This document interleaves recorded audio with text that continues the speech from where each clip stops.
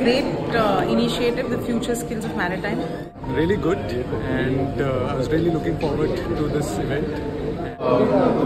we are attending this uh, conference here in Goa and some amazing speakers and uh, greatly supported by the uh, local government here, the chief ministers here as well.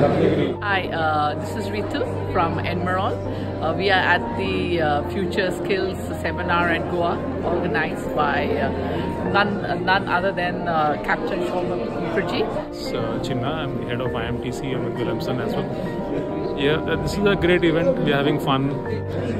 One thing about the event that I found was most interesting was that uh, as a engine cadet, I've I've discovered that there's more to this career than just working in the engine room. It's a fabulous event. It's a fabulous event. Uh, there's a lot of sharing of information on how, how we all can prepare ourselves for the future. Uh, it's regarding training, uh, regarding manpower, and uh, above all, the last session, the uh, bridging the gap between the old and the new. It's not the old and new experiences, but it's the old and new technologies. And I wish uh, uh, Captain Mukherjee all the best for all the future endeavors he takes upon. Thank you. Excited about these uh, one and a half days of interaction with the industry leaders, mainly looking at how we can upskill India and take it to the next level. Uh, Captain Shaukat has uh, given me opportunity to speak in the stage too, and uh, upon that I have gained experience by speaking with MD, CEOs. One thing good I liked is because I myself am a counselor and a wellness coach, that today people are talking about mental health and wellness as also one of the skill sets which uh, the pre-sea students must have before they go on to the sea. So I think it's a great step forward and how we can incorporate even technology for the well-being of seafarers, that is what I'm looking forward to. What a fantastic event. To my expectations, and we really look forward to add value to future skills and uh, present our technology enhance future skills in times to come.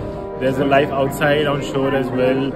Um, after becoming a chief engineer, after you know getting success and all of that, there's a life afterwards that which was very motivating and which was interesting to find out. We're having fun. It's a lovely place to be, and uh, cheers to Naval Connection for making it happen.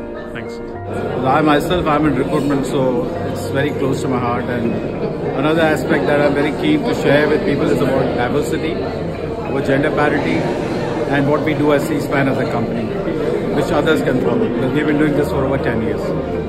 Thank you very much and have a great, great day. and uh, many training officers.